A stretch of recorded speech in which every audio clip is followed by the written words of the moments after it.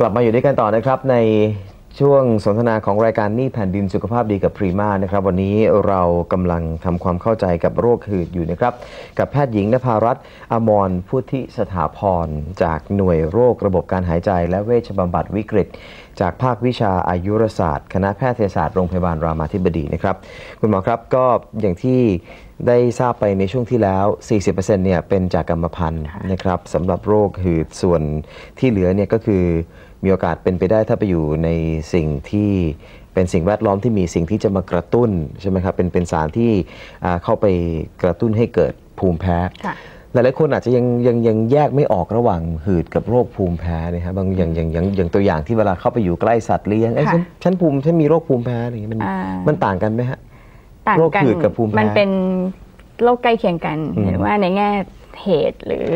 อาการที่อาการออกอาการอาจจะหืดนี่เหมือนกับเป็นโรคของปอดอืมนั่นก็จะเป็นเน้นเรื่องว่าเป็นหลอดลมหายเป็นใจไอเป็นวีดหอย่าองบเดียวอืมภูมิแพ้เนี่ยเป็นเหมือนคำกว้างๆแต่หลักๆ ที่เราเข้าใจก็จะเป็นเรื่องของน้ำมูกว่าอืมเอ่อเจอสิ่งที่แพ้แล้วจามน้ำมูกไหลอืมมีคันตาคันจมูกอืมนะคะ แต่ว่าอืมโดยทั่วไปคนที่เป็นหอบหืดเนี่ยอืมจะมีสักสองในสามที่มีภูมิแพ้เพราะจริงๆมันก็คือเกี่ยวกันเพียงว่าเขาแพ้ในอวัยวะหลอดตั้ง เอ่อเขาเรียกว่าทางเดินหายใจส่วนต้นด้วยไหมลงไปถึงข้างล่างด้วยไหมอืมถ้าเกิดว่าคนที่เป็นภูมิแพ้ก็มีโอกาสเป็นหอบหืดสักหนึ่งในสามอืมคือคือคือมันเกี่ยวกันอืมมันเกี่ยวเนื่องกันอืมอืมแล้วก็บางคนเนี่ยบอกว่า หาไม่เจอจริงๆว่าแพ้อะไร แต่อืมอาการมันบ่ง อย่างนั้นอืมก็ต้องมาหาวิธีการตรวจหรือว่าซักอืมในแง่ซักประวัติอืมส่วนใหญ่เนี่ยจริง ๆ คือมีสาเหตุแต่ว่าเรายังไม่รู้ไม่รู้ค่ะอืมก็ต้องมาค่อยครับๆหากัน ครับครับวิธีการรักษามีกี่รูปแบบยังไงบ้างครับสำหรับโรคหืด ถ้าเป็นสมัยก่อนเนี่ยจะอืมเน้นว่าเป็นยากินปกติเนี่ยหืดอย่างที่ว่าเราเป็นหลอดลมตีบอืมฉะนั้นเราทำไงก็ได้ให้หลอดลมมันขยายตัวอือฮึสมัยก่อนเนี่ยก็จะมีเป็นยารับประทานเป็นหลัก คืครัอบยารับประทานขยายหลอดลม พวกนี้กลุ่มยารับประทานเนี่ยจะมีเอาว่าออกฤทธิ์ดี แต่ว่าจะมีผลข้างเคียงอืมก็คือมันต้องดูดซึมเข้าไปในร่างกายเพราะมันก็จะรับยาเต็มๆผลข้างเคียงมันก็รับเต็มๆฉะนั้นก็จะมีเรื่องของใจเต้นเร็วใจสั่นหรือว่าอืมเอ่อคือบางคนเนี่ย ได้ยาไปขยายลมยังไม่ทันได้ดีเลยแต่ปรากฏว่าเจอผลข้างเคียงเยอะ มันก็ทำให้ยังคุมอาการของโรคไม่ได้เพราะว่าเพราะว่าจำกัดด้วยผลข้างเคียงอืมปัจจุบันเอาว่าสักสามสิบสี่สิบปีหลังเนี่ยก็เริ่มมียาพ่นอย่างที่เมื่อกี้ว่าเป็นยากระบอกพ่นค่ะอืมถ้าใครเคยเห็นในทีวีในหนังเนี่ยก็ชอบมีเด็กว่าอะพ่นยาอืมอันนั้นก็คือ เป็นยาลักษณะเดียวกันกับที่ยารับประทานขยายหลอดลมอืม พ่นไปแล้วก็ยาถ้าเราสูดได้ถูกวิธีเนี่ยยามันเข้าไปในหลอดลมอืมเพราะเราบอกว่าเป็นโรคของหลอดลม มันก็อืมไปทำให้หลอดลมขยายตัวอืมเขาก็หายใจได้โล่งขึ้น มันช่วยได้นานแค่ไหนฮะที่การพ่นยาเข้าไปทางหลอดลมเนี่ยฮะแล้วแต่ยาตัวแรก ๆที่มาคือเป็นยาที่ออกฤทธิ์ระยะสั้นอือฮึคือพ่นปุ๊บ 10 15ทีเนี่ยอาการดีขึ้นเลย แต่อืมจะอยู่แค่4ชั่วโมง6ชั่วโมงก็หมดฤทธิ์ยามันก็ต้องซ้ำบ่อยอืมฮึหลังๆเนี่ยก็มียาใหม่ ๆ มาก็ ออกฤทธิ์ยาวขึ้น 12 ชั่วโมงอืมก็คือพ่นแค่เช้าเย็น หรือว่าอืมพ่นวันละครั้งก็มีอืมอันนั้นคือเป็นขยายหลอดลม แต่จริงๆแล้วเราบอกว่าเอ๊ะตัวร่างกายตัวโรคเนี่ยมันไม่ใช่แค่เรื่องหลอดลมตีบมันเป็นเรื่องของมีภาวะการอักเสบอืมคือร่างกายมันพอมีสิ่งกระตุ้นปุ๊บร่างกายมันมีการอักเสบขึ้นมา ยาขยายลมอย่างเดียวเนี่ยมันเป็นแค่เหมือนกับไปถางรูอืมแต่ว่ามันไม่ได้ไปลดไปลดการอักเสบในหลอดลมอืมงั้นก็จะต้องมียากลุ่มถัดมาเป็นกลุ่มสเตียรอยด์อืมฮึ สเตียรอยด์ถ้าเคยได้ยินกันก็จะเป็นพวกคล้ายๆยาหม้อยาลูกกรอนยาเม็ดสเตียรอยด์ซึ่งพวกนี้มีผลข้างเคียง ในแง่คุมอาการอักเสบถือว่าดีอืมแต่ผลข้างเคียงก็เยอะเป็นเบาหวานกระดูกพรุนได้อืมมีเอ่อผลข้างเคียงมากกว่าอืมฮึงั้นก็เหมือนกันเขาก็พัฒนามาเป็นตัวสูตรอืมเพราะว่าผลข้างเคียงไม่เยอะมันเป็นแค่สูตรแล้วยาก็เข้าไปในหลอดลม ตรงเลยตรงตรงตรงในที่เอ่อผล ในแง่ว่าดูดซึมเข้ากระแสเลือดเนี่ยจะน้อยกว่าอืมยกเว้นว่าใช้ปริมาณเยอะมากจริง อย่างนั้นอืมก็จะเข้ากระแสเลือดไปโดนอืมผลข้างเคียงอืมค่ะครับ อันนี้คือหลังๆ บางคนเนี่ยเข้าใจผิดว่า เอ๊ะ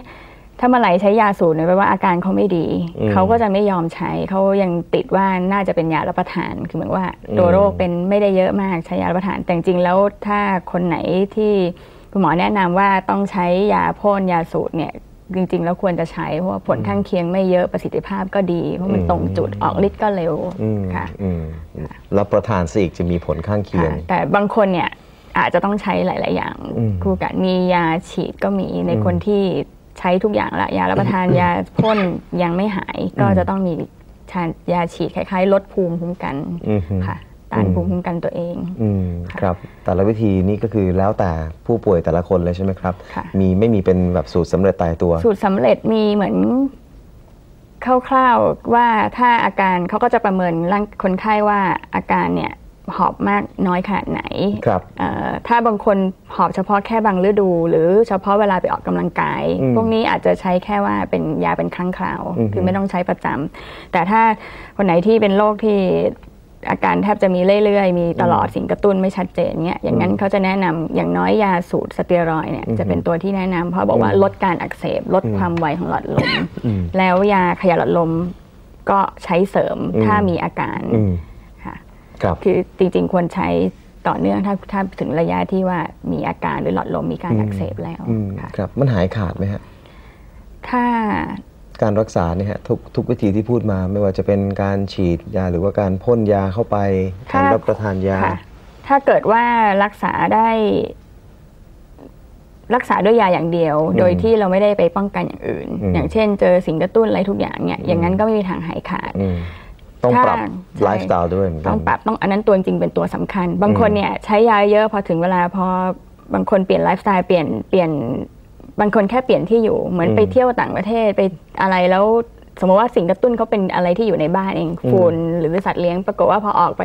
เที่ยวต่างประเทศไปเที่ยวต่างจังหวัดอาการหายไปอืมกลับมาบ้านเป็นใหม่อืถ้ามอย่างเงี้ยจริง ๆ แล้วจริง ๆ ก็แก้ว่าจัดการความสะอาดอะไรที่ไม่ต้องบ้านกลับบ้านซะอ่าไม่ได้จบ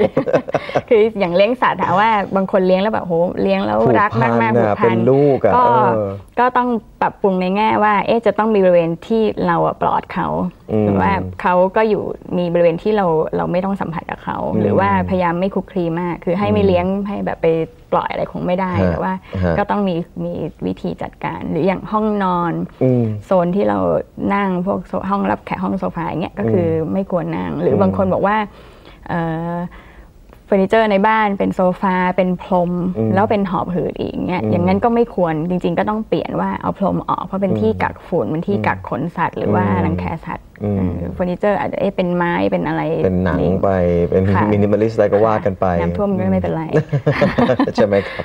ฮะเป้าหมายในการรักษานี่คือเราอยากจะให้หายขาดอยู่แล้วถูกไหมฮะค่ะมันเป็นเหมือนกับการการเสริมหายขาดมันเหมือนในกับต้องแง่ป้องเรื่กัอนงไปอาการพร้อมๆกันอืมควบคุมโรคได้เอ่อทำกิจวัตรประจำวันได้ จริงๆนี่คือเป้าหมายว่าเอ๊ะเราสามารถอยู่ได้เหมือนคนอื่น เหมือนคนที่ไม่มีอาไม่มีโรคเลยมีใช่ไหมฮะที่อยู่ได้อยู่ได้ เอาว่าเยอะถ้าเกิดใช้ยาสม่ำเสมอปรับยาเต็มที่หลีกเลี่ยงสิ่งกระตุ้นเนี่ยเอาว่าอยู่ได้เหมือนคนปกติเลยตรวจสมรรถภาพปอดที่เมื่อกี้ว่าอืมตรวจมาบางคนเหมือนปกติเหมือนคนอื่นอืมที่ไม่ไม่ได้มีโรคเลยอืมค่ะอืมเอ๊ะแล้วที่บอกว่าบินไม่ได้ออกกำลังกายหักโหมไม่ได้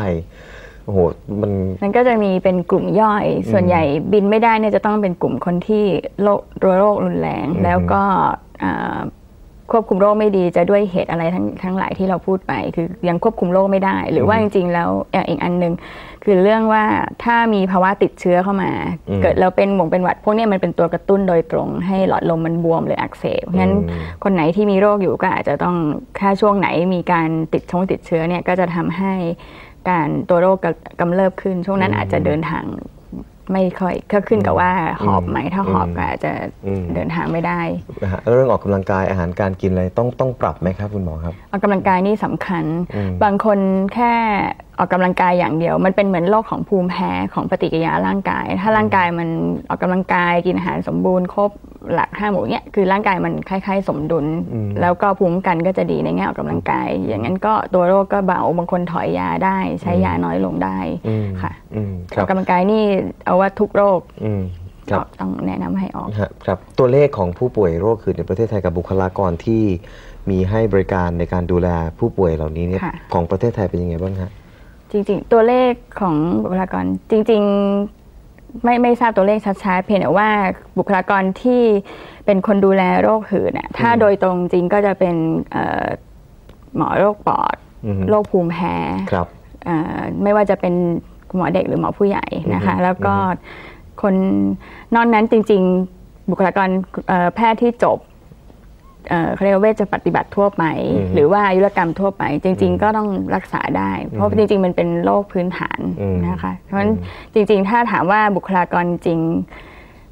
พอเพียงพอ เพียงแต่ว่ารักษาได้ได้ได้เขาเรียกว่าตามมาตรฐานไหมผู้ป่วยเองเหมือนก็มีส่วนร่วมผู้ป่วยด้วยในการทำให้การรักษาได้ผลด้วยใช่ไหมค่ะฮะในแง่ว่าเอ่อมีการอัปเดตความรู้คล้ายๆเอ่อมีกับว่ามี ติดตามว่าเอ๊ะวิทยาการการรักษาเนี่ยไปถึงไหนแล้ว แล้วก็ใช้ยาได้ค่อนข้างดีไหมอืมจริงๆเอ่อโรงพยาบาลชุมชน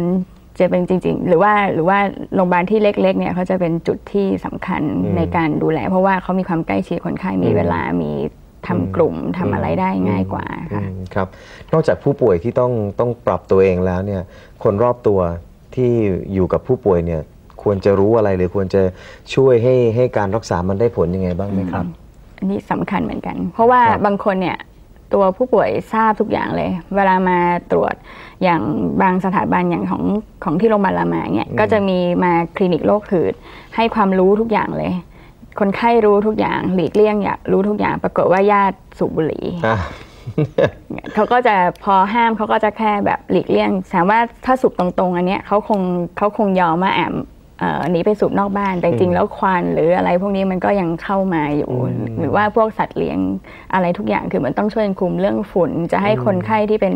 หืดไปทำความสะอาดเองอืมเยอะๆมันก็คงไม่รู้จะอาจจะกระตุ้นกำเริบให้คนในบ้านก็ต้องช่วยกันดูแลเรื่องความสะอาดเรื่องอืมค่ะสำคัญมากทีสำคัเดีญยวสำนะคคัรัญบเลย หรือว่าคนญาติก็ต้องรู้ว่า เอ๊ะถ้าเกิดเหตุฉุกเฉินอะไรขึ้นมาอืม ญาติก็ต้องเป็นคนพามา คือว่าพาคนไข้มาโรงพยาบาล หรือให้ประวัติได้ว่า เออคนนี้มีโรคเรื้อรัง อย่างเช่น จับขืนในเครื่องบินอย่างเงี้ยถ้าเกิดไม่มีประวัติเลย ไม่มียาไม่มีอะไรอยู่อย่างเงี้ยอย่างเงี้ยมันก็จะกลายเป็นอืมรักษาแบบไม่ไม่ไม่รู้ครับค่ะครับครับพอพอมันเกิดเหตุฉุกเฉินขึ้นมาเนี่ยโอโอกาสเสี่ยงที่จะเสียชีวิตนี่มันมีมากน้อยแค่ไหนอะครับ เราจะเห็นแต่ในภาพยนตร์เนี่ยเลยที่แบบดูเหมือนกับแบบ มันค่ะค่อนข้างจะดูวิกฤตนะฮะค่ะอืมอ่า ถ้าหืดแบบชนิดที่พ่นยาเองแล้วไม่หายจริง ๆ แนะนำก็คือสองสามทีไม่หายจริง ๆ ก็ต้องหาทางช่วยแล้วจะจะเอ่อมาโรงพยาบาลใกล้ที่สุดไงก็ได้ แต่ว่าอืมในแง่ว่าโอกาสเสียชีวิตเอ่อสักประมาณคือไม่ไม่ไม่ทราบตัวเลขชัดๆค่ะแต่ครับว่าค่ะก็ถือว่ามีโอกาสเยอะมีโอกาส เอาว่านอนโรงพยาบาลคนไข้ที่เป็นโรคหืดเนี่ยนอนโรงพยาบาลแต่ละปีเนี่ยอืม หลายพันพันเป็นพันคนเป็นอืมต่อของโรงพยาบาลนะอืคะอฮึตอนก็ยังถือว่าเป็นตัวเลขที่เยอะอยู่ค่ะนะครับ เดี๋ยวในช่วงหน้าเราจะมาดูกิจกรรมที่กำลังจะมีขึ้นด้วยนะครับ ในทุกๆปีทุกวันอังคารแรกของเดือนพฤษภาคมเนี่ยเป็นวันหืดโลก มีที่มาที่ไปอย่างไรนะครับทำไมถึงต้องมีวันวันนี้นะครับ รวมไปถึงความเข้าใจคลาดเคลื่อนที่ยังมีอยู่เกี่ยวกับโรคนี้เดี๋ยวช่วงหน้าเรามาปิดท้ายกันนะครับ กับแพทย์หญิงนภารัตน์อมรผู้ที่สถาพรพักกันสักครู่หนึ่งครับ